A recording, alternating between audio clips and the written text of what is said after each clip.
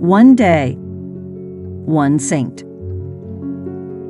Welcome to the channel that commemorates the men and women who have left their mark on the history of the Church throughout the ages. On May 12, we commemorate Saints Nereus and Achilleus.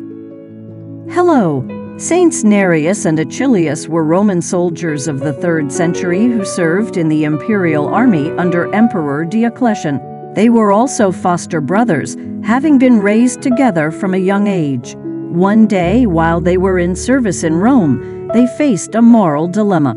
Emperor Diocletian ordered his soldiers to participate in pagan sacrifices in honor of the Roman gods, which Nereus and Achilleus categorically refused due to their Christian faith. They decided to withdraw from the army rather than renounce their faith in Jesus Christ.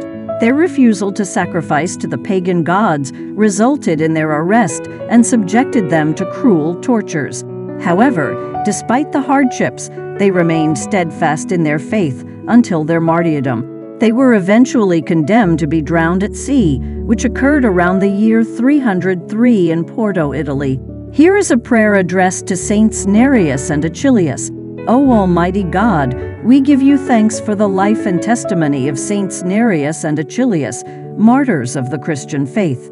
Grant us, through their intercession, the grace to have the courage to defend our faith, even in the face of adversity. May their example of fidelity inspire our own commitment to you.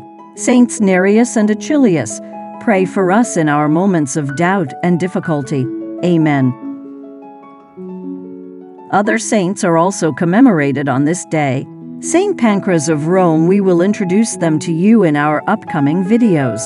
Happy feast day to all those born on this day. We invite you to join us tomorrow for a new saint.